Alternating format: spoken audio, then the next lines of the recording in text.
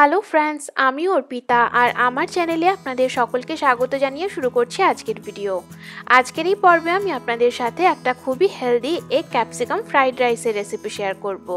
কিছুদিন আগে আমি আপনাদের সাথে একদম কম তেলে তৈরি একটা চিলি পনিরের রেসিপি শেয়ার করেছিলাম, যেটা এই ফ্রাইড রাইসের সাথে খেতে কিন্তু খুব ভালো লাগে। আর এই চিলি পনির ফ্রাইড রাইসের কম্বিনেশন কিন্তু আমাদের স্বাস্থ্যের কোনো ক্ষতি করবে না। আর আপনারা যদি হেলদি ডায়েট মেনটেন করছেন, তাহলে এই দুটো খাবারকেই কিন্তু আপনারা অনায়াসেই আপনার ডায়েটে ইনক্লুড করতে পারেন। চিলি পনির রেসিপির লিঙ্কটা আপনারা নিচে ডিসক্রিপশন বক্সে আর উপরে আই বাটনে পেয়ে যাবেন। তাহলে চলুন আর দেরি না করে আমরা এই হেলদি এগ ক্যাপসিকাম ফ্রাইড রাইসের রেসিপিটা দেখে নিই। ফ্রায়েড রাইস রান্না করার জন্য আমি এখানে দু কাপ সোনা মসুরি চালের ভাত ব্যবহার করছি, যেটা আমি রেগুলার বেসিসে ঘরে ব্যবহার করে থাকি। কিন্তু আপনারা চাইলে এর বদলে বাসমতি চালের ভাত বা ব্রাউন রাইস যে কোনোটাই ব্যবহার করতে পারেন। সবার প্রথমে আমরা কড়ায় এক স্পুন তেল দিয়ে দেব আর আমি এখানে অলিভ অয়েলের ব্যবহার করছি। তেলটা ভালোভাবে গরম হয়ে গেলে এতে এক চা চামচ রসুন কুচি আর এক চা চামচ কাঁচা লঙ্কা কুচি দিয়ে কয়েক সেকেন্ডের জন্য নাড়াচাড়া করে মাঝারি আঁচে ভেজে নেব। এরপর এতে একটা মাঝারি সাইজের গাজর সরু লম্বা টুকরো করে কাটা আর একটা ছোট সাইজের ক্যাপসিকাম ছোট ছোট চৌকো টুকরো করে কাটা। এগুলো কড়ায় দিয়ে তিন চার মিনিট মতো হাই ফ্লেমে নাড়াচাড়া করে ভেজে নেব। তিন মিনিট মতো আমি সবজিগুলোকে হাই ফ্লেমে নাড়াচাড়া করে ভেজে নিয়েছি।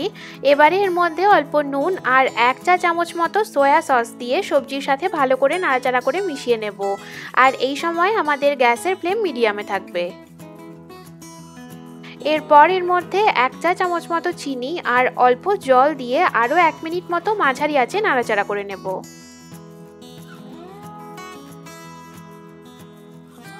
এবারে এর মধ্যে দুটো ডিম ভেঙে দিয়ে ডিমটাকে চারদিকে একটু ছড়িয়ে দিয়ে 30 সেকেন্ড মতো একদম কম আছে এভাবেই রেখে দেব।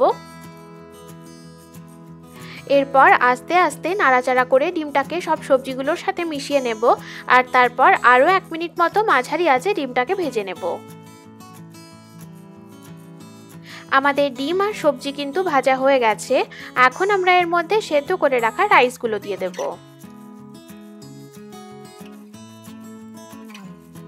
গ্যাসের ফ্লেমটা মিডিয়ামে রেখে আমরা রাইসগুলোকে ভালোভাবে সব কিছুর সাথে নাড়াচাড়া করে মিশিয়ে নেব। তারপর এর মধ্যে দিয়ে দেব হাফ চা চামচ গোলমরিচ গুঁড়ো। আর এক চা চামচ মতো বাটার বা ঘি দিয়ে সব কিছু ভালো করে নাড়াচাড়া করে মিশিয়ে নিয়ে আরও দু থেকে তিন মিনিট মতো মাঝারি আছে ভেজে নেব। আর তাহলেই কিন্তু আমাদের healthy egg capsicum fried rice serve করার জন্য একদম তৈরি হয়ে যাবে। এর মধ্যে আমরা ডিমের ব্যবহার করেছি, যার মধ্যে প্রচুর পরিমাণে প্রোটিন থাকে আর এটা আমাদের স্বাস্থ্যের পক্ষে খুবই ভালো। আর গাজর আর ক্যাপসিকাম দুটোই কিন্তু ওজন কমাতে খুব সাহায্য করে। আর আপনি যদি হেলদি লাইফস্টাইল মেনটেন করার জন্য ডায়েট করছেন বা ওজন কমানোর জন্য ডায়েট করছেন, তাহলে খেয়াল রাখবেন পোর্শন কন্ট্রোল করে খাওয়াটা কিন্তু খুবই জরুরি। তাই রাইস বা ফ্রাইড রাইস যে কোনোটাই আপনি খাচ্ছেন একটা মিলে একশো থেকে দেড়শো গ্রামের বেশি রাইস নেবেন না।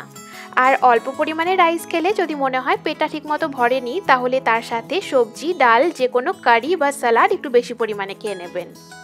তাহলে বন্ধুরা, আমার আজকের এই রেসিপিটা আর ছোট ছোট টিপসগুলো যদি আপনাদের ভালো লেগে থাকে, তাহলে এই ভিডিওটাকে লাইক শেয়ার আর আমার চ্যানেলে সাবস্ক্রাইব করে নেওয়ার জন্য অনুরোধ রইল।